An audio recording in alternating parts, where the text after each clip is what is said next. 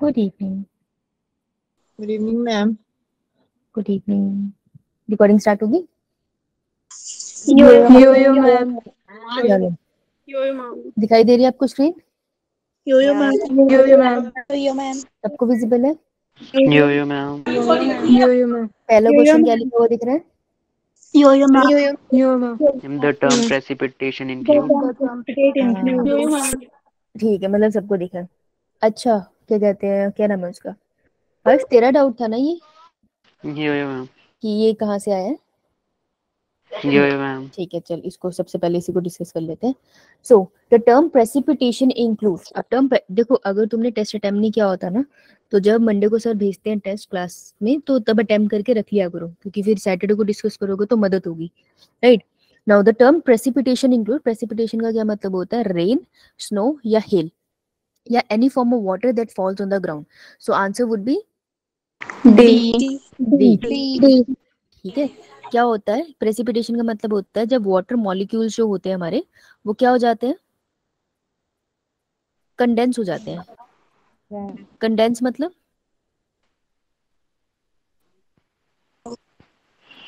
Vapor से solid liquid में change condense का मतलब होता है कि अगर ये कोई मॉलिक्यूल्स है ना अगर मैं बोल दूँ उसको सिंपल चीज़ों में अंडरस्टैंडिंग के लिए तो अपने सिंपल तरीके से समझा करो ना। कंडेंस हो गए। मतलब वो बहुत पास आ गए। Condense ma'am. बोल यो यो हैं। उसको ठीक है तो वाटर मॉलिक्यूल जो होते हैं वो वेपर फॉर्म में होते हैं ना आसमान में। फिर वो पास आएँगे तो रेन बनेंगे। ठीक है? और ज़्यादा पास आएँगे वो वो बन जाएँगे। ज़्यादा टेम्प मतलब पास आएँगे लेकिन वो नीचे गिर रहे होंगे पर बहुत ज़्यादा टेम्परेचर कम होगा तो स्नो में चेंज हो जाएँगे। राइट सो डिपेंड करता है टेम्परेचर कैसा है वाटर की कंडेंसेशन से होने वाला प्रोसेस है। तो प्रेसिपिटेशन का मतलब होता है तीनों चीज़ें। ये आप पढ़ते हो इकोलॉजी में।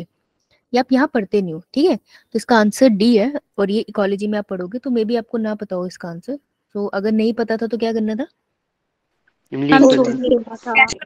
छोड़ना छोड़ देना था। Good now the colour blindness is more likely to occur in male than in the female ऐसा होता है कि जो कलर ब्लाइंडनेस डिज़ीज़ होती है वो ज़्यादातर लड़कों में होती है एज कंपेयर टू लड़कियाँ। सही बात है? Yo yo yo yo ma'am yo ma'am yo ma'am तो कलर ब्लाइंडनेस रिसेसिव डिसऑर्डर है डोमिनेंट x linked recessive. जिस सेक्स लिंक्ड है ये? और सेक्स लिंक यो में कौन से X वाले एक्स है? यस एंड ये है रिसेसिव राइट चलो ये अपडेट हमने कर लिया। ओके कौन सा कलर यूज़ करूँ? Green dark पर्पल अब इसने ग्रीन बोल दिया। चलो अब Y chromosome of male have the gene for distinguishing colour Y में होता है? No ma'am. तो नहीं होता। Gene for character are located on the sex chromosome इसका जो कलर ब्रांडेड का जीन होता है सेक्स क्रोमोसोम पे होता है? यो यो मैम हाँ। Yo yo ma'am sex chromosome का मतलब है एक्स या वाई क्रोमोसोम पे होना चाहिए तो एक्स पे होता है। तो इसने डायरेक्ट आंसर तो नहीं दिया पर इसने एक बात तो सही बोली है ना? अगर यो यो अगर इससे अच्छा आंसर मिल गया तो वो होगा आंसर नहीं तो ये। ठीक है तो मैं इसको अभी ऐसे रखती हूँ। The trait is dominate in male and recessive in female ये ट्रेट डोमिनेट होता है मेल में और रिसेसिव होता है फीमेल में? नो मैम नो मैम देखो देखो इसका क्या मतलब है? इसका क्या मतलब है? कोई भी ट्रेड जब हम बोलते हैं कि वो डोमिनेंट है उसका मतलब ये होता है कि चाहे वो ऐसे प्रेजेंट हो होमोजाइगस ठीक है चाहे वो होमोजाइगस कंडीशन में हो चाहे वो हेट्रोजाइगस कंडीशन में हो इस तरह से कैपिटल या स्मॉल वो डोमिनेंट ही ले रहेगा वो अपने आप को ज़रूर एक्सप्रेस करेगा ठीक है स्टिल एक्सप्रेस यो मतलब होता है डोमिनेंट एंड रिसेसिव का अगर मैं ये बोल दू ये बात सही है। जैसे अभी हर्ष ने बोला कि वो मेल के केस में फीमेल के पास एक एक्स क्रोमोजोम है और एक हम बोलते थे हीमोफीलिया वाला ठीक है? सॉरी कलर ब्लाइंडनेस वाला ठीक है? और मेल के पास एक एक्स जाएगा एक वाई जाएगा तो ऑब्वियसली मेल को कलर ब्लाइंडनेस हो जाएगी क्योंकि एक अकेला एक्स ही अपने आप को एक्सप्रेस कर पाएगा ना। ये अभी भी ये अभी भी रिसेसिव है। इट इज़ जस्ट दैट उसके साथ कोई डोमिनेंट नहीं पड़ा, इस वजह से ये खुद को एक्सप्रेस कर रहा है। तो ये डोमिनेंट नहीं हुआ। ट्रेट अभी भी रिसेसिव है, पर in the absence of dominant वो अपने आप को एक्सप्रेस कर पा रहा है। ये बात समझ आई? डोमिनेंट का मतलब होता है, जो होमोजाइगस हेट्रोजाइगस दोनों कंडीशन में अपने आप को एक्सप्रेस कर दे, और रिसेसिव का मतलब मैं यहाँ लिख रही हूँ। ये लिख लो, ये इंपॉर्टेंट चीज़ है। रिसेसिव का मतलब होता है can express when dominant is absent. Dominant is absent right तो या तो या तो ये ऐसे करता ए ए हो या फिर अकेला ए हो और साथ में कुछ भी ना हो ठीक है? तभी खुद को एक्सप्रेस कर पाएगा। ये कह सकते हैं ना? तो trait is dominant in male trait is dominant in male and recessive in female ऐसा हो ही नहीं सकता। इस तरीके का कभी कुछ होता ही नहीं है ठीक है? तो ये स्टेटमेंट गलत। None of these none of these नहीं हो सकता क्योंकि ये स्टेटमेंट सही है बी वाली। तो इसलिए हम बी के साथ जाएँगे। ऑल बहुत अच्छा आंसर नहीं है लेकिन फिर भी B is a better option right now a test test cross involve तो कौन बताएगा मुझे टेस्ट क्रॉस क्या होता है? प्रिया सतवालिया। बता बेटा मैम वो रिसेस एफ़ जनरेशन के जो रिसेसिव पेरेंट्स होते हैं ना उनके साथ करवाते हैं। एफ़ वन जनरेशन को क्रॉस करवा देते हैं रिसेसिव पेरेंट के साथ। बोल रही है? यो यो मैम बिल्कुल सही बोल रही है। और ऐसे क्यों करवा रही है तुम?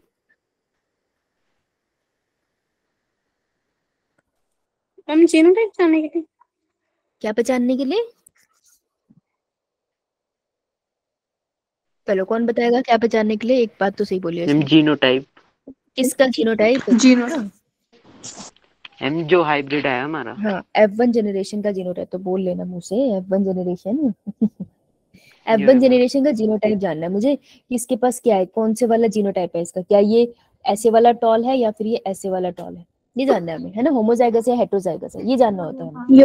सो टेस्ट तो टेस्ट क्रॉस क्या इन्वॉल्व करता है? अच्छा क्वेश्चन है ये आते हैं ऐसे क्वेश्चन ठीक है? कौन सा कलर लूँ थोड़ा अलग सा बताना? ब्लू बच्चे पर्पल ये पर्पल कौन सा है? इसका ये वाला है? Ma'am dark ma'am dark dark purple कौन सा है? मैम सेकंड लास्ट लाइन में फ़र्स्ट ये? Yo yo ma'am so test cross this is a test cross ने बिल्कुल सही बोला कि एफ़ वन को क्रॉस करा लो with recessive parent recessive parent भी ऑब्वियसली होमोजाइगस रिसेसिव ही होगा ना? Yo yo ma'am yo ma'am right तो ये बात तो इस स्मृति ने सही बोली ठीक है टेस्ट क्रॉस ये होता है तो crossing between two genotype with dominant trait dominant trait कैसा है ही नहीं cross ma'am crossing between two genotype with recessive trait ऐसा है no ma'am no ma'am no ma'am अच्छा ऐसा नहीं है crossing between two F one hybrid F one और एफ़ वन के बीच में क्रॉस है no ma'am no crossing of hybrid double recessive genotype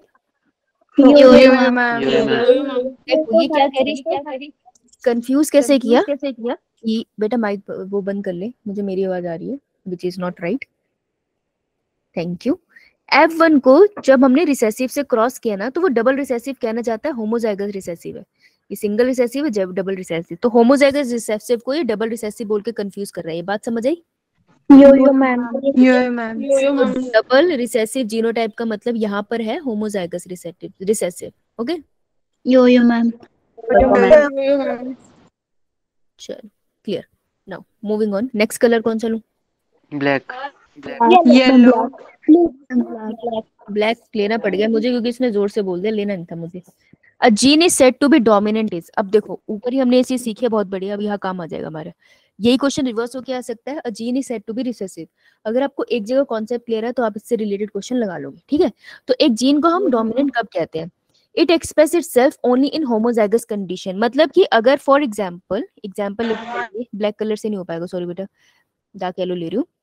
अगर मैं एग्ज़ाम्पल लूँ कि जो टी है, मैं उसको डोमिनेंट कब बोलूँगी? वो पहली स्टेटमेंट में बोल रहा है कि it express itself only when T T state अगर ये कैपिटल टी कैपिटल साथ पड़ा है ना तो ये होमोजाइगस है। होमोजाइगस मतलब जो भी अल्फ़ाबेट है वो कैपिटल एक साथ हो या स्मॉल एक साथ हो। ठीक है उसे होमोजाइगस कहते हैं। अगर किसी को अभी तक इस बात में कंफ्यूजन है तो आज क्लियर कर लो इसे। होमोजाइगस और रिसेसिव का फ़र्क क्या है? ठीक है होमोजाइगस और हेट्रोजाइगस ये बहुत इंपॉर्टेंट चीज़ है। ये बेसिक होते हैं जो अगर अच्छे ना बने ना तो हम समझ नहीं पाते हैं कि हम पढ़ तो बहुत रहे हैं पर हमारे नंबर नहीं आ रहे। तो बड़ी बेसिक बात है तो ये आनी चाहिए। नहीं आती है तो उसको क्लियर करे जो तो होमोजाइगस हेट्रोजाइगस एंड और क्या बताने वाली मैं? Hmm. Monohybrid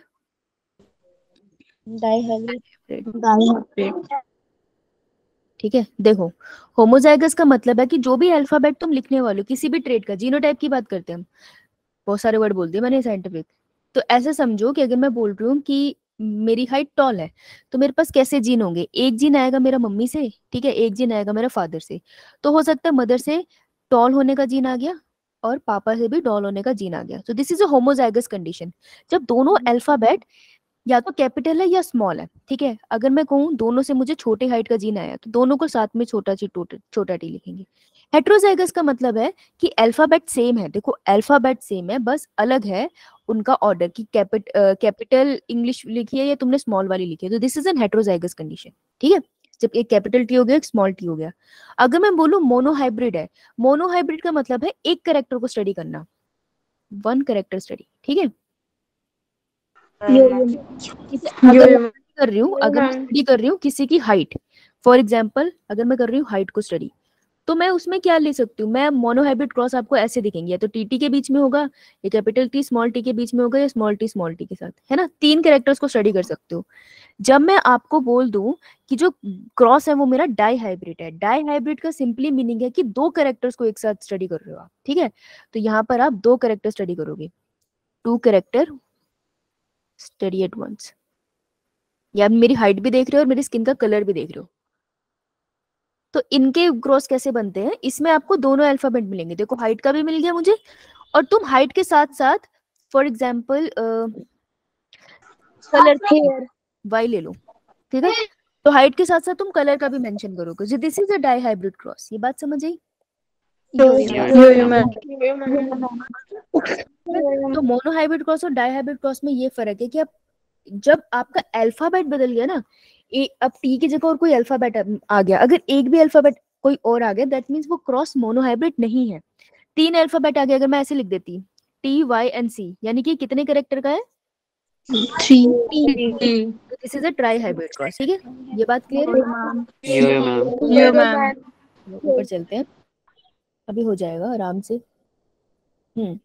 So gene is said to be dominant सबको दिख रही है ना screen yo yo yo So a gene is said to be dominant if it express itself only in a homozygous condition. तब थोड़ी हम उसे dominant कह रहे हैं वो hetero में भी express कर जाती है तो ये तो गलत हो गया yo ma'am express itself its effect only in a heterozygous condition ये भी गलत है देखो जब भी ना बायो में बेटा थोड़ी देर माइक बंद कर लो ऐसे ना किसी को समझ नहीं आएगा अगर तुम बीच में बोलोगे ठीक है जब मैं आपसे एंड में पूछूँगी तब बताना ओके मैम ओके चलो तो देखो जब भी बायो में क्वेश्चंस में ओनली वर्ड आता है ना only is a very strong word ये बहुत स्ट्रॉन्ग स्टेटमेंट है। तो जब भी कहीं ओनली लिखा हो ना रीड केयरफुली उस लाइन को केयरफुली पढ़ना हवा में मत लेना उसको ध्यान से पढ़ना। मोस्टली सिर्फ़ ओनली लिखने वाली स्टेटमेंट गलत निकल आती है पर ऐसा ज़रूरी नहीं है तो ध्यान से पढ़ना। Okay now it express its effect both in homozygous and heterozygous बिल्कुल। वो अपने आप को होमोजाइगस में भी टॉल रहेगा ये भी टॉल आएगा और ये भी टॉल आएगा हेट्रोजाइगस में। It never express its effect in any condition ऐसा तो हो ही नहीं सकता। So answer would be C C चलो so Sertoli cells are found in हमारे टोली वाले सेल जो थे हमने ह्यूमन रिप्रोडक्शन में पढ़े थे। मेल में पढ़े थे फीमेल में पढ़े थे? मेल में। मेल ओवरीज बोल रहा है? बेटा मेल में पढ़े थे। मेल में पढ़े थे ठीक है? तो बेटा अब देखो इसको। पास कर रही हूँ मैं। तो ये यहाँ पे बात कर रहे हैं फीमेल की। ओवरी बोल रहा है फीमेल है। तो ये तो गलत हो गया। रॉन्ग स्टेटमेंट एड्रीनल कॉर्टेक्स बोल रहा है। एड्रीनल कॉर्टेक्स क्या होता है? यो यो मैम क्या होता है? मैम ये मैम किडनी से ऊपर होता है थोड़ा। किडनी के ऊपर ही लगा होता है। उससे ऊपर नहीं होता थोड़ा। यो यो ऊपर ही लगा होता है। यो यो ग्लैंड होता है जिसे एड्रीनल ग्लैंड बोलते हैं। Yo yo ma'am yo ma'am adrenal gland और एड्रीनल ग्लैंड में आउटर कॉर्टेक्स और इनल मेडुला होता है। तो एड्रीनल ग्लैंड के जो आउटर वाला पार्ट है ना ये आउटर वाला पार्ट इसे कहते हैं एड्रीनल कॉर्टेक्स ठीक है? और इसका जो का पार्ट होता है उसे क्या बुलाते हैं? क्वेश्चन मेडुला इसका जो सेंटर का पास है उसे मेडुला बुलाते हैं ठीक है? तो एड्रीनल कॉर्टेक्स अगर करता भी होता अपने को यहाँ कोई लेना देना नहीं है ये आंसर होगा नहीं। Seminiferous tubule provide nourishment to the germ cell सही बात है? यो यो मैम पेनक्रियास का भी कोई लेना देना नहीं है। पेनक्रियास सिक्रीट करता है कॉली नहीं पेनक्रिया मैम पेनक्रियास कॉलिस करता है पेनक्रियाटिक जूस नहीं कॉलीसाइटोकाइनिन पेनक्रिया नहीं सिक्रेट करता। मैं सोच रही थी कौन सिक्रेट करता है मेरे ध्यान से उतर गया। आई थिंक स्मॉल इंटेस्टाइन से निकलता है कॉलीसाइटोकाइनिन uh, वो पेनक्रिया को स्टिमुलेट करता है कि वो अपने जूसेस रिलीज़ करे। कौन रिलीज़ करता है? मेरे ध्यान से उतर गया है। ओहो। चलो मैं देखूँगी। नहीं तो मेरे दिमाग में घूमता रहेगा। ठीक है तो answer would be seminiferous tubule वाला राइट क्लियर है? अब देखो अभी तक जितने क्वेश्चन थे वो सारे के सारे तो एनसीईआरटी से ही थे कुछ डिफ़िकल्ट तो नहीं आया। तो ये क्वेश्चन तो सही होने चाहिए थे। अगर ये क्वेश्चन गलत हुए देखो the only purpose of Saturday आके पेपर एनालिसिस इज़ दैट हम सारे क्वेश्चन क्यों करते हैं? ऐसे क्यों नहीं करते कि आप मेरे को क्वेश्चन बताओ, मैं वही डिस्कस करूँ? उसका पर्पस ये है कि आपको पता चले कि जो आंसर आपने सिलेक्ट किया है, क्या सही कॉन्सेप्ट से सिलेक्ट किया है या नहीं? कभी कभार ना आंसर ऐसे ही सही हो जाते हैं। कभी कभार ना क्वेश्चन देख के मेरे को लग जाता है यही आंसर होगा। वो निकल भी आता है। पर इसका मतलब ये थोड़ी ना मैंने कॉन्सेप्ट सही लगाया, मैंने तो तुक्का मारा है। तो इसको डिस्कस करने का पर्पस ये है कि आपको पता चले, मैंने जो आंसर किया है बेटा माइक बंद कर ले। कि मैंने जो आंसर लिखा है वो मेरे कॉन्सेप्ट की वजह से सही है या फिर वैसे ही सही है? एक सेकेंड हेलो हाँ जी सर क्लास में हूँ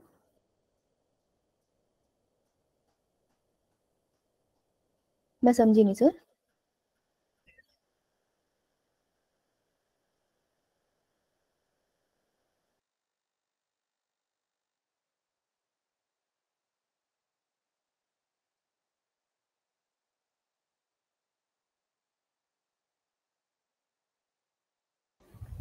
ओके इतने रुक जाओ बच्चों कुछ बच्चे जो ज्वाइन नहीं कर पा रहे क्लास तो एक बार मैं उनको मैनुअली ऐड कर दे हाँ। बेटा। Good evening ma'am good evening अभी आए हो? यस मैम ज्वाइन हो गया अब? यस मैम हो गया। पहले क्यों नहीं हो रहा था? मैम पता नहीं। तीन चार बार ट्राई करा था हो नहीं रहा था। अरे यार। मुझे मत मैसेज भेजा करो यार। मैं मैं तो देखती भी ना मैं क्लास में होती हूँ उस टाइम आसिफ सर को ही कॉल कर लिया करो। अभी सर का कॉल आया ना तो उन्होंने रोक दिया। सो सॉरी बेटा मुझे पता ही नहीं था आपका क्लास में ज्वाइन हुआ। नहीं तो मैं रुक जाती। कुछ क्वेश्चंस तो मिस हो गए। रुको नहीं आने दो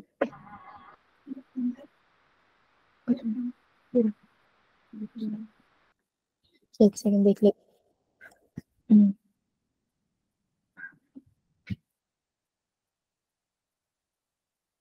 मेरा तो ज्वाइन हो गया एकदम से। That's weird. चलो कोई ना मैं यहाँ पे होस्ट बना लेती हूँ खुद को तो मुझे नोटिफिकेशन आ जाए। हो गया ना आप सभी का ज्वाइन जो आ नहीं पा रहे थे?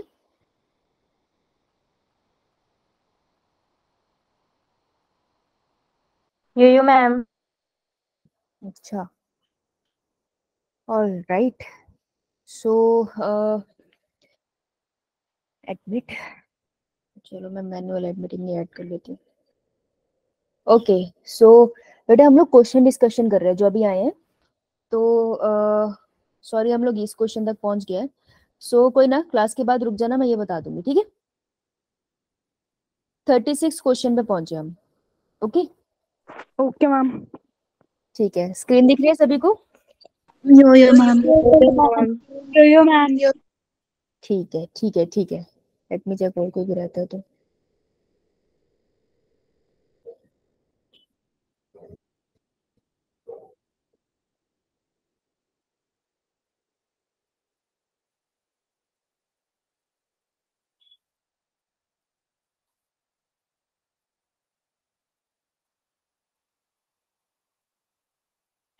आई होप सब आ गए ओके सो हाँ मैं कह रही थी कि अभी जो स्टार्टिंग के तीन चार क्वेश्चन करे आपने वो एनसीईआरटी बेस्ड है। तो हम लोग एक्चुअली भूल गई मैं एग्जैक्टली क्या बोल रही थी? क्या बता रही थी मैं? कुछ अच्छा बोल रही थी मैं क्या बोल रही थी? ये बताया कि तीन क्वेश्चन हो गए वो मैं लास्ट में रिपीट कर दूँगी और थर्टी सिक्स क्वेश्चन पे हैं अभी हम। नहीं नहीं बेटा ये नहीं इससे पहले क्या बोल रही थी मैं? इन क्वेश्चन में तुक्का नहीं मारना होता कॉन्सेप्ट से करना होता है। हाँ अच्छा हाँ। तो मैं समझा रही थी कि इस एक्सरसाइज को करने का बेसिक पर्पस ये है कि हमें पता होना चाहिए कि हम तुक्का Yes, मार रहे हैं। कभी कभार हमको पता भी नहीं चलता। टू बी ऑनेस्ट नहीं पता चलता यार। अगर मैं एज स्टूडेंट अब तो चलो इतनी मेरी एज हो गई है कि थोड़ा आइडिया हो जाता है। लेकिन अगर मैं खुद को सोचूं स्कूल में कि ऐसा क्या हुआ होगा कि मेरे कभी नंबर कम आए तो खुद को नहीं पता चलता है। कि तुक्का लग गया वो खुशी होती है कि अरे, इसमें इतने परसेंट आ गए चैप्टर मेरा प्रिपेयर हो गया। तो इस एक्सरसाइज का सैटरडे का पर्पस ही है कि आपको पता चले कि आप संडे को तुक्के मार के कर रहे थे या खुद से कर रहे थे। सही स्टेट कॉन्सेप्ट थे या गलत कॉन्सेप्ट थे इसलिए हम इसे साथ में करते हैं, ठीक है? तो अभी तक तो एनसीईआरटी बेस्ड ही था, अभी तक ऐसा कुछ आया नहीं है जिसमें बहुत ज़्यादा दिमाग लगाना था। अगर अभी तक आपको प्रॉब्लम आई है, इस हाँ मैं ये बताने जा रही थी कि जब क्वेश्चन गलत होता है तो हम उसे सीखते कैसे अगर अभी तक प्रॉब्लम आई है तो उसके साथ साथ सीखो कि आपको क्या जाके रिवाइज करना है, ठीक है? अगर आपसे टेस्ट क्रॉस का क्वेश्चन गलत हुआ है दैट मीन्स आपको जाके टेस्ट क्रॉस को रिवाइज करना है। अब इस टाइम जब आप कोई चीज़ गलत करते हो तो उसको उतना मत पढ़ा करो जितना आपके सामने है। मतलब आपने बुक उठाई, आपको टेस्ट क्रॉस मिला, आपने नोट्स उठाए, आपने पढ़ा। थोड़ा सा उसको हेल्प बुक से पढ़ लिया करो, या फिर उस पर मैं हमेशा सजेस्ट करती हूँ एनिमेटेड वीडियो देख लिया करो। हर चीज़ की एनिमेशन आजकल अवेलेबल है। एनिमेशन देखोगे फिर भूलोगे नहीं। तो मेक श्योर जो क्वेश्चन आपका गलत होता है, उसको आप ध्यान से करो okay yo yo ma'am yo yo ma'am चलो यो मैम अभी से देखते हैं। बस आपको यही जानना आपको ये नहीं करना कि इतना गलत हो गया कितना ठीक हो गया वो तो धीरे धीरे होता रहेगा लेकिन आपको एनालाइज करना एनालाइज करते चलोगे ना तो फिर एक टाइम आएगा तब चीज़ें चीज़ें गलत होनी कम हो जाएगी बहुत कम हो जाएगी ओके सो so, और इस बार हमारे संडे टेस्ट का टारगेट क्या है? नेगेटिव मार्किंग किसके अंदर लानी है हमने? Digits. के अंदर। वन डिजिट नेगेटिव मार्किंग होनी चाहिए मैक्सिमम मतलब एक से लेकर नौ तक आप नेगेटिव क्वेश्चन करके आ सकते हो, इससे ज़्यादा नहीं करने, ठीक है? यही आपका टारगेट रहना चाहिए। जिसने नेगेटिव मार्किंग कंट्रोल कर ली ना, उसने एंट्रेंस एग्ज़ाम ऐसे ही जीत लिया। क्योंकि सब एंट्रेंस एग्ज़ाम में जो चीज़ दिक्कत देती है, वो दैट इज़ नेगेटिव मार्किंग हमें बस उसी पे गेम रखनी है, उसी पे फोकस रखना है। बी फोकस्ड कि ये नेगेटिव मार्किंग से हमें बचना है। आपका सबसे बड़ा दुश्मन ही वो है। आप कम चैप्टर प्रिपेयर करके जाओ, चल जाएगा। बस नेगेटिव से बचो now The testes in human are situated outside the abdominal cavity inside the pouch called scrotum. NCERT की लाइन है। The purpose serve is for ये बहुत पुराने क्वेश्चन है। ये वाले और बार बार आते रहते हैं ये। इतने टाइम से चले आ रहे हैं। हमारे टाइम से आ रहे हैं। Right right? तो इसका पर्पज क्या था? वो बॉडी से अलग इसलिए रखी जाती थी ताकि टेम्परेचर के लिए रिगार्डिंग कुछ था। अगर आपको नहीं भी याद कि टेम्परेचर को कम करना है, ज़्यादा करना तो पढ़ लो। Escaping any possible compression by the visceral organ visceral organ का मतलब क्या होता है? क्या बेटा? क्या मतलब? मैम जो बॉडी लाइनिंग बनाते हैं। एनी ऑर्गन हम बेटा मैं मुझे अच्छा नहीं लगता मैं खुद को ही समझा रही हूँ। एक्चुअली कोई भी ऑर्गन होता है ना उसका जो अगर मैं मैं आपको हम्म, हाँ भी अपने लंग्स में ज़रूर पढ़ोगे तो मैं हार्ट में बता देती हूँ हार्ट इजी है। तो कोई भी ऑर्गन होता है ना जो उसकी इनर लाइनिंग होती है ना इनर वाली लाइनिंग जो सारी सिक्रीशन के कॉन्टेक्ट में होती है हम उसको विसरल कह देते हैं ठीक है? जो जो सिक्रीशन की कांटेक्ट में होती है उसको विसरल कहते हैं। तो विसरल ऑर्गन बोल दो वो सिंपली तुम्हें ये कहना चाहते हैं कि कोई भी ऑर्गन जिसके अंदर कोई काम चल रहा है। तो किसी भी ऑर्गन से कंप्रेशन ना हो इसलिए हमारे टेस्टिस बाहर नहीं होती है मेल की ये रीजन नहीं था।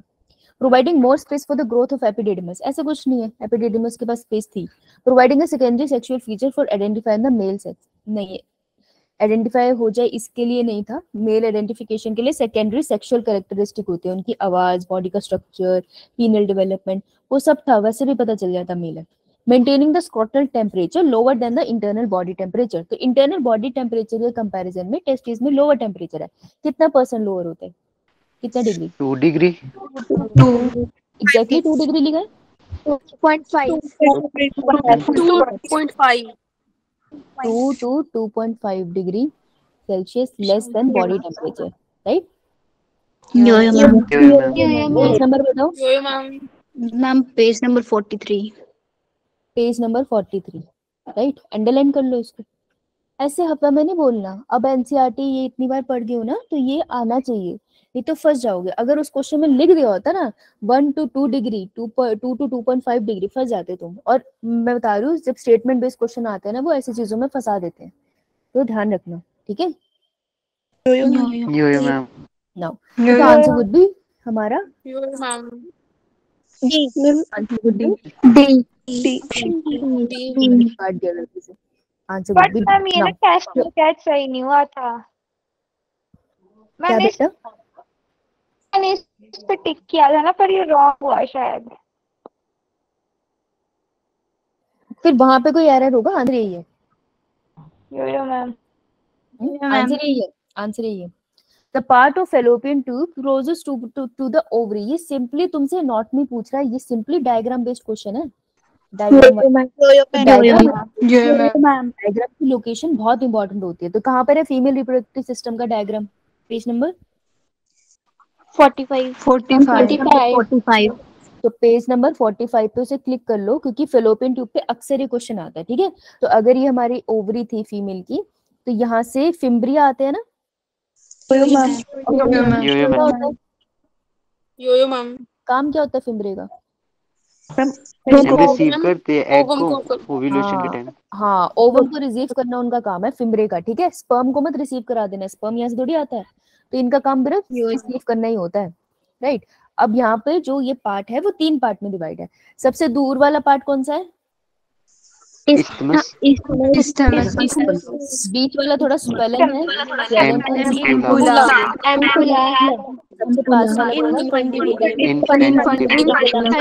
बस बस बस बस बस ठीक है। The part of fallopian tube closest to the ovary would be infundibular. Answer would be B. Simply diagram based. था.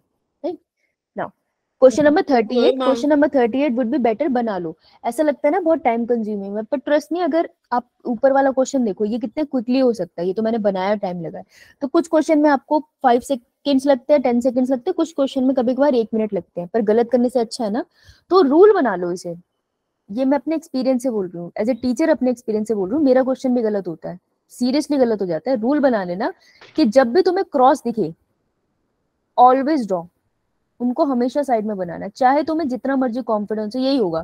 क्रॉस को हमेशा साइड में बनाना क्योंकि क्रॉसेस जर्नली जो आंसर हमें लगता है वो नहीं निकलता। ये मेरा एक्सपीरियंस है क्रॉसेस के साथ तो हमेशा इन्हें साइड में बनाना, ठीक है? So a girl has blood group A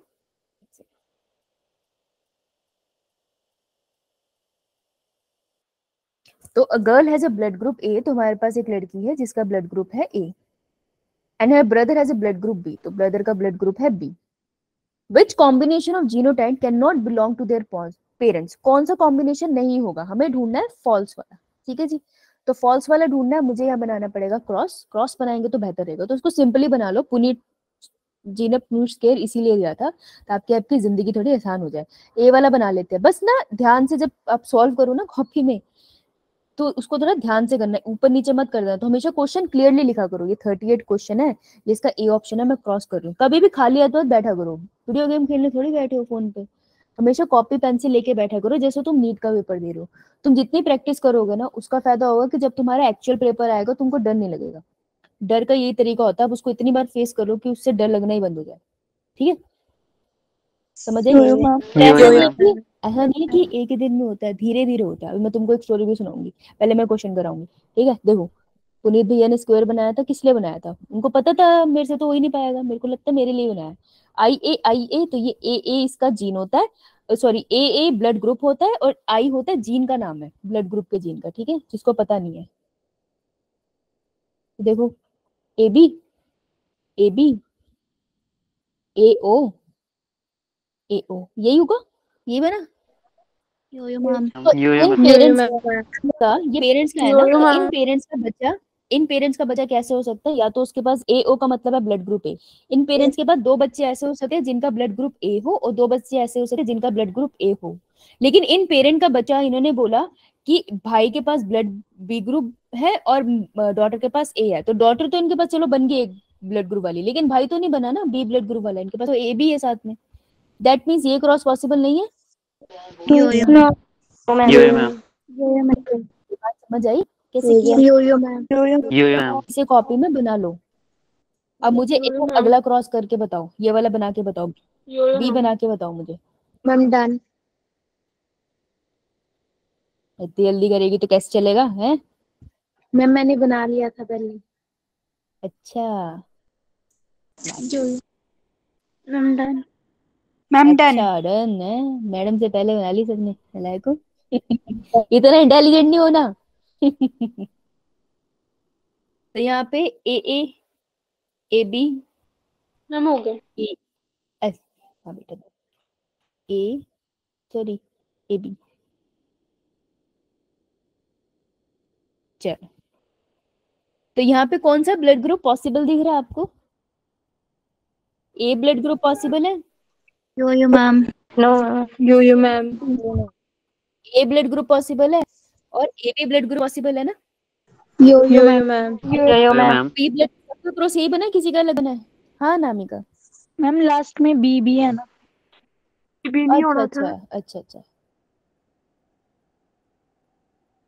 एक हमारे पास बी बना और एक हमारे पास तीसरा बच्चा बना ए बी यानी कि ए भी हो सकता था बच्चे का ब्लड ग्रुप बी भी हो सकता था और ए और बी ही तो दिया था क्वेश्चन में तो ये क्रॉस सही है है ना? पेरेंट का जीनोटाइप ये हो सकता है राइट यो यो मैम ठीक है सात।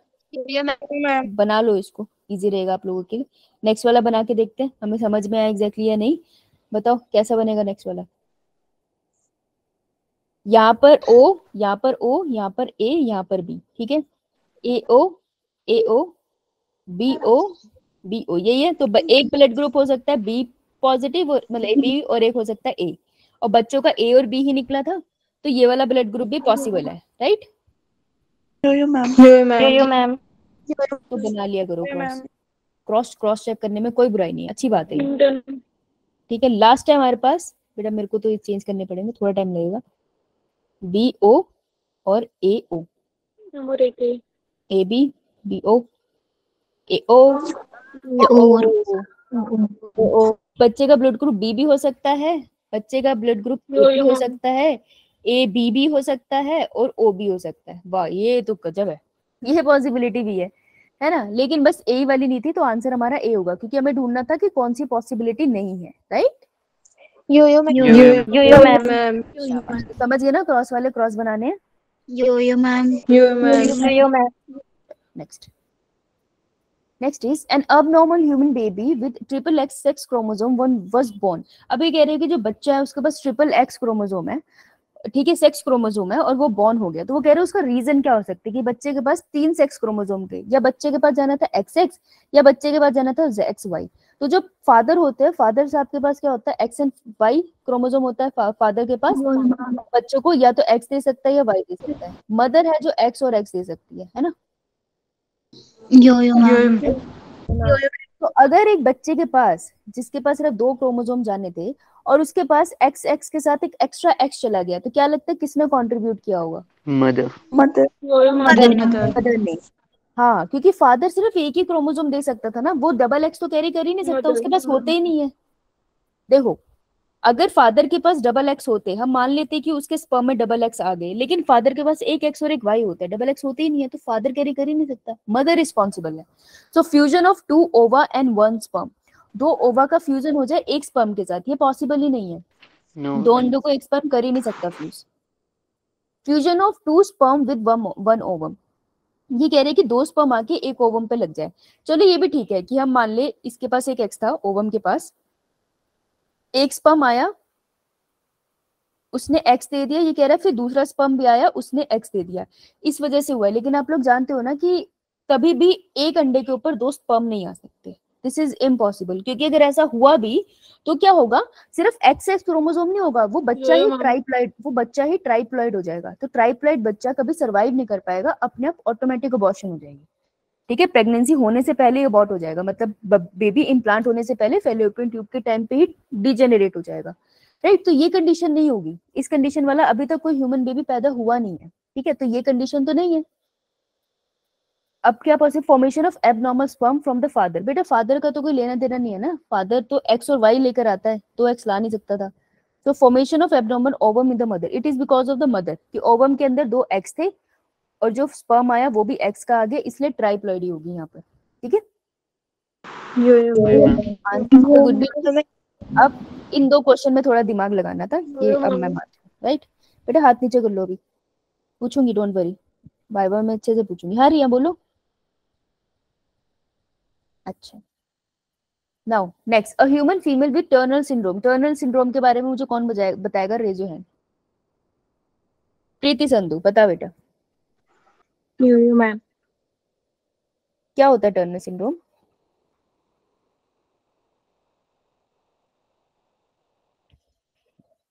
विशाल?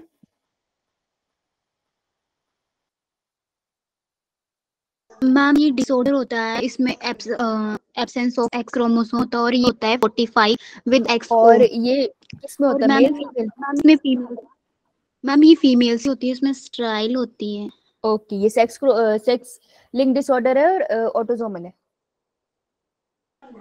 मैम सेक्स लिंक्ड ये सेक्स लिंक्ड है ऑटोसोमल है या मैं इसको लिख दूँ क्रोमोसोमल डिसऑर्डर है?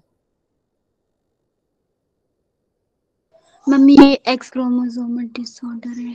एक्स क्रोमोसोमल डिसऑर्डर का मतलब पता है क्या है? कि अगर ये एक्स क्रोमोसोम है ना तो इसके किसी जीन में गड़बड़ी है। ठीक है वो एक्स लिंक्ड होता है। लेकिन जब पूरे क्रोमोजोम में गड़बड़ी होती है तो हम उसे क्रोमोसोमल डिसऑर्डर कहते हैं। और देखो इसमें एक पूरा क्रोमोसोम गायब है ना तो ये क्रोमोसोमल डिसऑर्डर हुआ। हुआ कि नहीं? यो यो मैम यो यो मैम समझ आया so human female with Turner syndrome is 45 chromosome with XO type सही बोल रही है ये? ए सही है? यो यो यो मैम बिल्कुल सही बोला अब आपको एक्स एक्स सेक्स लिंक्ड और क्रोमोसोमल का फ़र्क समझ आ गया ना? एग्जिबिट मेल कैरेक्टर फीमेल में मेल कैरेक्टर होता है? नहीं ऐसा नहीं है। नहीं बस फीमेल में प्रॉपर फीमेल कैरेक्टर नहीं होता मेल नहीं होता उसमें। वन एडिशनल एक्स क्रोमोसोम आता बिल्कुल नहीं। Is able to produce children with normal husband नहीं ये तो स्टेराइल होती है ना? टर्नर सिंड्रोम में तो स्टेराइल होती है। तो जिसको ये याद है जैसे इसे याद था तो ये तमन्ना कर लेती है ना? यो आंसर होती हमारा ए ए चलो। कौन सा colour? Yellow. Brown. Brown.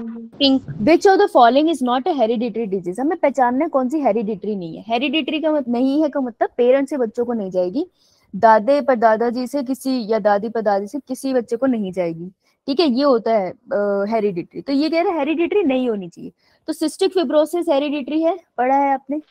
यो यो मैम हेरिडिटरी है यो यो मैम थैलेसीमिया हेरिडिटरी है? हेरिडिटरी है. यो यो मैम यो यो मैम क्रिटिनिज्म यो यो मैम। है नहीं. No no ma'am no ma'am criticism no ma'am hmm hypothyroidism किसमें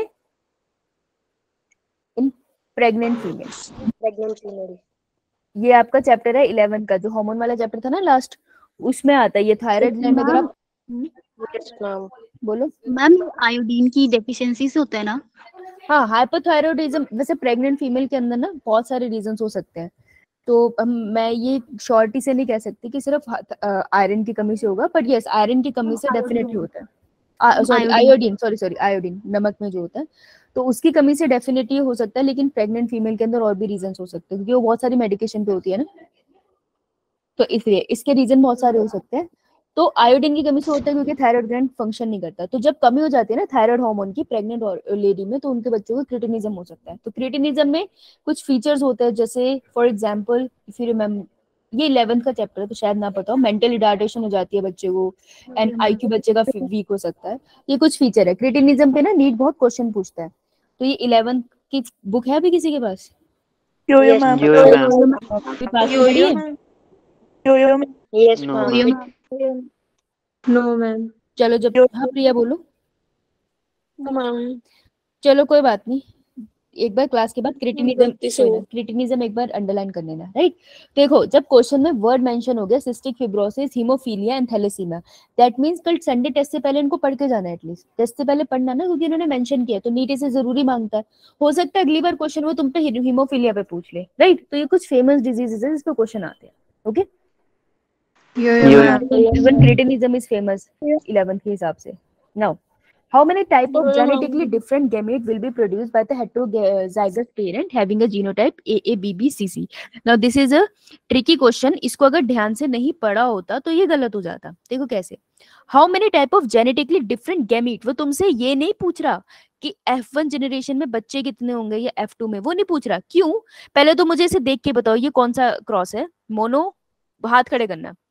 डाई हाथ खड़े करना या tri?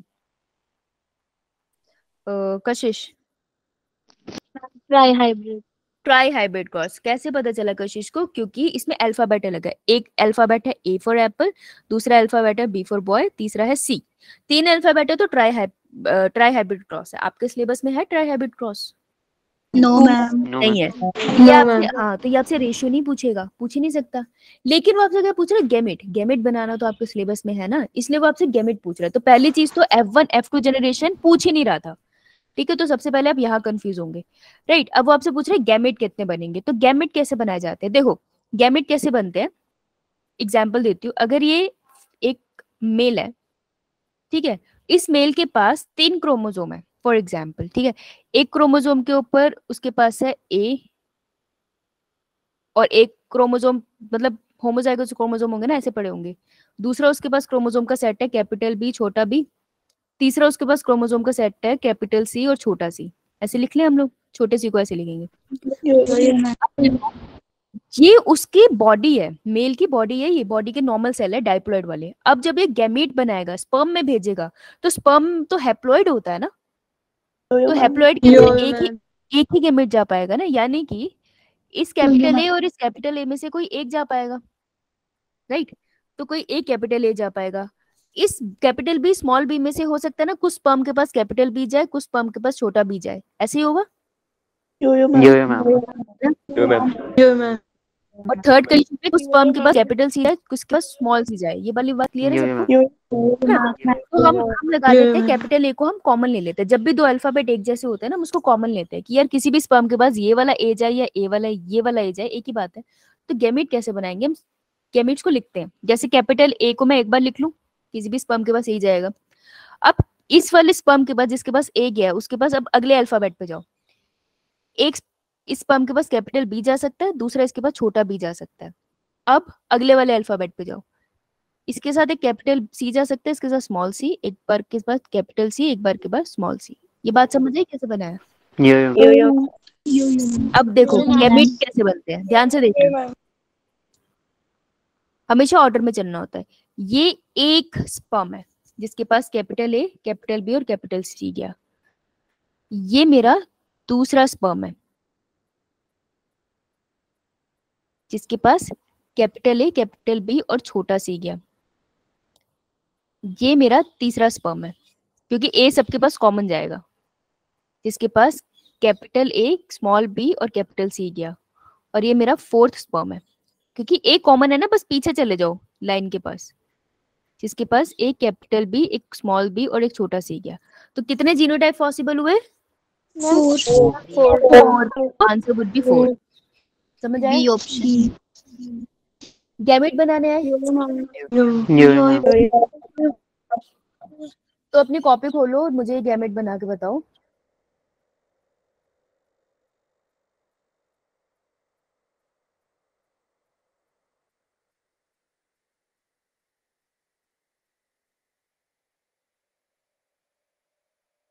मुझे ये बना के बताओ जा। कॉपी खोलो। बनाओ बना लिया। हम बना लिए हैं। बनाने दो। बनाने दो बाकियों को बनाने दो कोई बात एक मिनट सबके लिए। सब नीचे हाथ कर लो, एक मिनट सबके लिए। इट्स ओके किसी को टाइम लगता है तो कोई इसमें बुराई थोड़ी।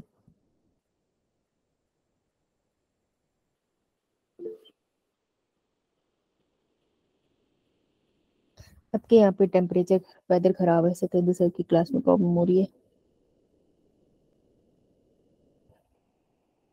मैं तो हैरान हूँ, मेरे यहाँ पे लाइट कैसे नहीं गई?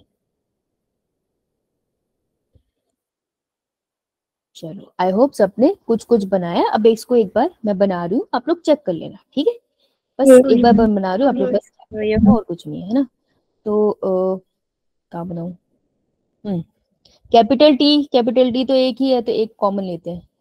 जिसके पास टी है उसके पास एक छोटा वाई जा सकता है और उसके पास एक बड़ा वाई जा सकता है है फिर जिसके पास वाई उसके पास एक कैपिटल सी जा सकता है छोटा सी जा सकता है है ना नीचे वाले के पास एक कैपिटल सी जा सकता है छोटा सी जा सकता है ऐसे बनाया सबने यो यो क्या जीनोटाइप पॉसिबल है इस वाले केस में कैपिटल छोटा वाई बड़ा सी यो यो कैपिटल टी छोटा वाई छोटा सी कैपिटल टी बड़ा वाई बड़ा सी कैपिटल टी बड़ा वाई छोटा सी यही है यो यो मैम अगर में से कोई बच्चे जिसका क्रॉस नहीं बना है? ओके रुक जाओ भाई। तुम में से कोई बच्चे जिसका क्रॉस नहीं बना है मुझे क्लास के बाद ही व्हाट्सएप कर देना ठीक है? नहीं तो भूल जाएँगे। Okay do send me the WhatsApp नहीं बना। मैम इसका कोई शॉर्टकट है ना निकालने का? ये एक्चुअली शॉर्टकट था। बहुत सारी टेक्निक होती है सबसे छोटा लगता है मुझे तो। Fork method hmm. Ma'am Himanshu sir ने बताया था। मैं एक्चुअली इस वाले से निकालती हूँ। बहुत सारे मेथड होते हैं। जब भी न्यूमेरिकल्स आते हैं या ऐसी वाली टेक्निक्स आती है बहुत सारे मेथड है। मैं उसी से करती हूँ मुझे इजी लगता है। और बहुत सारे तरीके हैं। तुमको जो इजी लगे उससे कर लो। सर वाला तरीका इजी लगता है उससे कर लो। तुम्हें बस आना चाहिए क्वेश्चन देखो ट्रिक यही है कि तुम्हें आना चाहिए। तो तुमको कोई निमोनिक भी जैसे आप डिस्कस जैसे हम क्लास में डिस्कस करते हैं यार सारे निमोनिक तो कर नहीं सकते। तो मैंने तुम्हें बताया तुमने कहीं और सुना? मान लो तुमने अपने स्कूल वाले फ्रेंड से सुना या स्कूल के टीचर से सुन लिया। तुम्हें वो निमोनिक सही लग रहा है। तुम वो उससे याद कर लो। मेन यही है कि तुम्हें याद होना चाहिए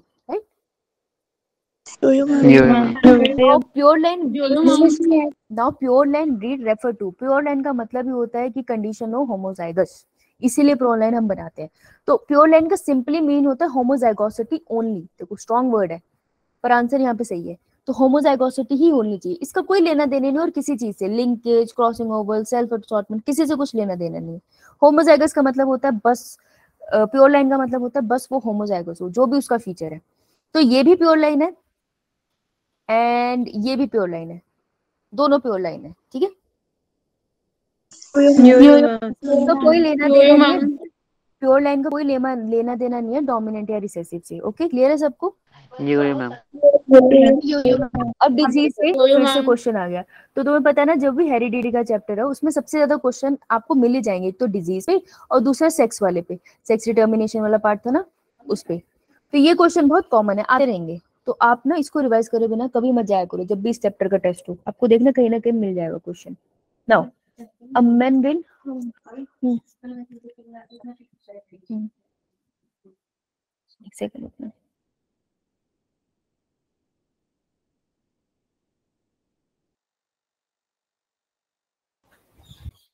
हाँ जी।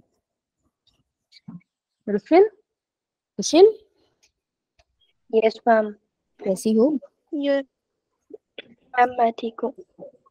भी ठीक है। हाँ जी आरुषि बोलिए। चलो a man with enlarge breast sparse body hair sparse body hair मतलब? अरे कहीं पे है कहीं पे नहीं है। And X X Y genotype मतलब जैसे genotype X X and Y आ गया एनलार्ज ब्रेस्ट आ गई the disease is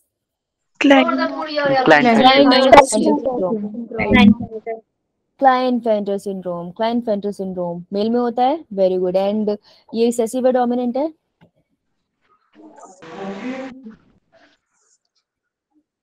chromosomal disorder है। क्रोमोसोमल डिसऑर्डर है। तो हम ये लगाते ही नहीं है। यस शाबाश। अब ये बात बता कि क्लाइंट फेंटर सिंड्रोम में जब एक मेल में फीमेल कैरेक्टर दिखने लग जाए उस फीचर को हम क्या बोलते हैं? उस कंडीशन को हम बुलाते हैं? गायनेकोमेस्टिया ओ मेस्टिया शाबाश। बहुत बढ़िया बहुत बढ़िया। आंसर इज़ सी ये तुम कर सकते थे बहुत आराम से। ये गलत हो रहे हैं। अगर ये क्वेश्चन गलत हो रहे हैं ना जो एग्जैक्टली एनसीईआरटी कॉन्सेप्ट पे आ रहे हैं। रुक जा बेटा बोलने तो दे। यो यो क्या? अगर ये क्वेश्चन गलत हो रहा है जो सीधा एनसीईआरटी कॉन्सेप्ट पे आ रहा है इसका मतलब मतलब है तुम वो रिवाइज नहीं कर रहे हो। और ये तुम्हें बहुत नुकसान देगा क्योंकि अभी तुम्हारे पास टाइम है ना रिवीजन करने का। अभी जैसे जैसे तुम्हारे स्कूल का टेस्ट स्टार्ट हो जाएँगे ना तो अब तुम्हें टाइम नहीं मिलेगा रिवाइज करने का तब तुम परेशान होना स्टार्ट हो तो अभी टाइम है अभी रिवाइज कर लो। समझ आई? ठीक है। ओके मूविंग ऑन हाँ जी कहाँ पहुँचे मैम फोर्टी 45 फोर्टी फाइव। ठीक है बढ़िया। अच्छा मेरे को बताओ कोई बच्चा जिसको किसी चीज़ से डर लगता है? अरे आप पढ़ाई की बात नहीं करी नॉर्मली पूछ रही लाइफ में। किस चीज़ से लगता होगा। मनुष्य ही हो तुम भी। छिपकली से? डॉग से। स्नेक्स डॉग से स्नेक से डर लगता है।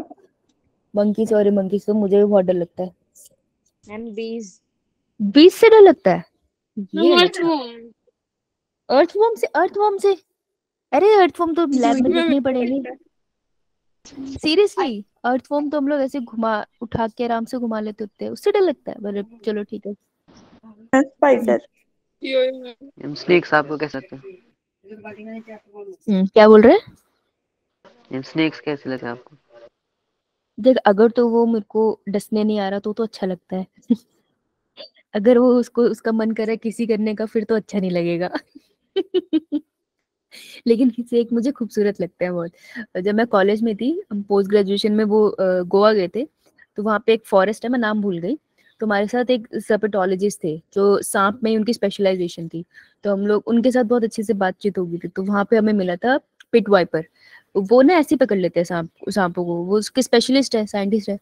तो फिर उन्होंने पहली बार जो मैंने अपना सांप पकड़ा था वहाँ पकड़ा था जंगल में ग्रीन कलर का था। तो मुझे लगता है कि मुझे सांप पसंद है। ऐसे लग रहा था जैसे वो चिकनी मिट्टी छुई है कभी तुम लोगों ने? चिकनी मिट्टी। बिल्कुल। वो हाथ लगाने में बिल्कुल चिकनी मिट्टी जैसा था। मतलब आपके हाथ गर्म होने चाहिए तो फिर वो नॉर्मल रहता है। अगर ठंडे हो ना तो वो सेंस कर लेता है। और स्नेक हमेशा भी ना डसने से पहले अपना कलर चेंज करता है तो अब पता चल जाता है अगर आप ध्यान से देखो तो। और बाय द वे आप तब तक तो हो जाएगा काम। तो I think I like snakes green mamba था वो ग्रीन मामा नहीं था वो पिट वाइपर था। मैम आपको मंकी क्यों बुरे लगते हैं? मंकी मतलब चढ़ जाते हैं ना मेरे ऊपर। को भी डर लगता है मंकी से। मंकी चढ़ मंकी चढ़ जाते हैं ना दिक्कत ही है। मेरे को बुरे नहीं लगते। से भी आपकी दुश्मनी है वैसे तो। नहीं यार दुश्मनी नहीं है डॉग्स तो मुझे पसंद है मेरे एरिया वाले काटते हैं। वैसे भी हिमाचल में तो बहुत होते हैं मंकी हाँ हिमाचल में बहुत होते हैं। मज़ा आता है उनके साथ बस वो ऐसे खेलते रहे ठीक है पर वो एकदम से आ जाते हैं ना तो वो दिक्कत देते हैं। उससे हिमांशी इनके problem- पास जाता है मैं मैं तो इतना मौका ही नहीं देती मैं छोड़ ही देती हूँ जो हाथ में आएगा तू खा ले। मुझे ज़्यादा भूख लगी है। वो नहीं शिमला में जब भी आइसक्रीम खाने जाओ तो मिल नहीं जाते? यो यो मैम। यो यो भाई मैं तो नीचे रख देती हूँ तू खा ले तुझे ज़्यादा भूख लगी है मैं जी लूँगी इसके बिना। काट लेते हैं यार इनको क्योंकि उनको भी खाने चाहिए होता है उन्हें क्या ब्लेम करें हम? लेकिन जो भी है एनीवेज मैं तुम्हें कुछ बताने वाली थी मुझे हँसी आ गई बंदरों का सोच के। बताओ। हाँ पा, किसी को पानी वानी से डर नहीं लगता? नो मैम गहरे पानी से। हाँ तो गहरा पानी बोल रही हूँ और मैं घर में पानी की बाल्टी बोल रही हूँ। देखना क्या है उससे नहीं लगता बाल्टी से क्या यार तुम भी कार्टून हो। भूल गए मैं क्या बताने वाली थी। पता ही तुम्हें मेरा। बताओ मैं तुम्हें बोलती हूँ कॉन्सेप्ट याद रखना। मैं खुद तो बस बोलते बोलते भूल जाती हूँ। चलो कोई बात नहीं। हॉलीडे होमवर्क कर रहे हो? सच बताना। यो यो ma'am no ma'am no ma'am चलो ऐसी वाली डिस्कशन तो हम अपनी रिकॉर्डिंग रोक के करेंगे। यो यो मैम यो यो तो स्टेटमेंट या हिट दिस स्टेटमेंट क्वेश्चन एक तो ये आते हैं और अक्सर गलत हो जाते हैं। मुझे भी नफरत है इनसे। तुम्हें भी पसंद है क्या नफरत है? नो नफरत तो बहुत ही नफरत है। ये ऐसे ना लगता है सही है सही है सही है। हाँ ये ऐसे लगता है सही है सही है फिर एंड में ऐसे ट्यून बजती है। गेम ओवर वाली। ये गलत हो गए चलो। Phenylketonuria is a inborn error of metabolism metabolism का एरर है ये? यस यो यो मैम बिल्कुल है। यो यो इसमें मैम मेटाबॉलिज्म कौन से अमीनो एसिड की मेटाबॉलिज्म नहीं हो पाती है? मैम टायर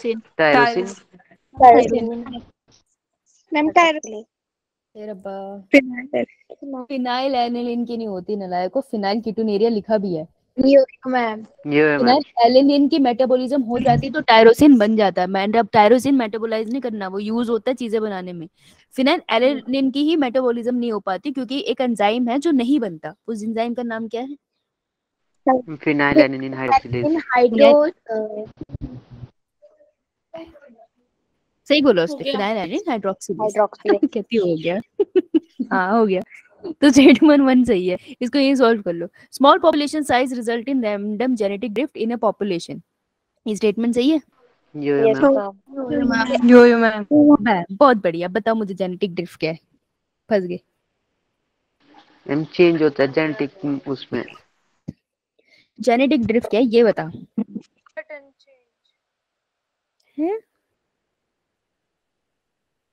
बेटा जेनेटिक ड्रिफ्ट क्या है? ये बता मैम चेंज होता है जीन में? चेंज होता है जीन में। हाँ ये बात तो सही है वैसे सडन चेंज होता है। और मे बी उसमें लैक ऑफ़ पिगमेंटेशन या फिर साइज़ और हेयर्स मतलब रिमूव होना स्टार्ट हो जाते हैं। किसमें मैम सिम्टम्स बता रहे हो। अच्छा मैंने कहा क्या बोल रहे हैं जेनेटिक ड्रिफ्ट में? नहीं बेटा नहीं। इतना गलत नहीं बोलना कि मैं ठीक ना कर पाऊँ। नहीं ऐसा नहीं है। जेनेटिक ड्रिफ्ट का मतलब होता है सडनली कोई म्यूटेशन हो जाए किसी पॉपुलेशन में। वैसे हम सडन बोलते हैं ना वो सडन काफ़ी सालों में होती है। अब जेनेटिक ड्रिफ्ट हम इवोल्यूशन में पढ़ते हैं पर चलो कुछ कुछ कुछ बच्चों को आइडिया होगा इसका। तो अभी के लिए समझ लो कि छोटी सी पॉपुलेशन में जेनेटिक ड्रिफ्ट हुआ है तभी जाके ये डिजीजेस कहीं हमारे अंदर आ गई है। तो ये स्टेटमेंट भी सही सही बोला। हाँ हाँ सही बोला तूने। हाँ, लेकिन को पक्का नहीं पता ना क्या मतलब है इसका। सच बताइए। तो भी आ गया था समझ मीनिंग ऐसी। वैसे एग्जैक्ट मीनिंग नहीं पता ना तुझे? अगर मेरा तुक्का सही है तो नहीं पता ना। हाँ जेनेटिक ड्रिफ्ट इतनी जल्दी समझ नहीं आता तो सही है कोई बात नहीं। तो दोनों स्टेटमेंट कही सही है answer would be most probably most probably question नहीं हो पाता क्योंकि हमने जेनेटिक ड्रिफ्ट पढ़ा नहीं है तो ऐसे क्वेश्चन में क्या करते हैं हम? छोड़ देते। छोड़ छोड़ देते। देते तो अभी तक हमने इस पेपर में दो क्वेश्चन छोड़े हैं सिर्फ़ ठीक है? अगर हम नहीं आते होते तो हम दो क्वेश्चन छोड़ सकते थे हम छोड़ देते बाकी सब तो कर सकते थे। No which chromosome set is found in the male grasshopper बेटा सेक्स डिटर्मिनेशन आ गया फिर से? किस किस की डिटर्मिनेशन की वहाँ बात हुई है? जल्दी बताएँ। एक था इंसान जिसकी थी एक्स Yes, ma'am. है ना? ग्रास ऊपर बटरफ्लाई ग्रास ऊपर ब्लाइट बीज वो कौन था? बीज ऐसे मत करो ऐसे मत करो मेरे को ऐसे मत किया करो। ह्यूमन के साथ वो कौन से तुमने याद करे थे जिनकी ह्यूमन जैसी एक्स वाई है.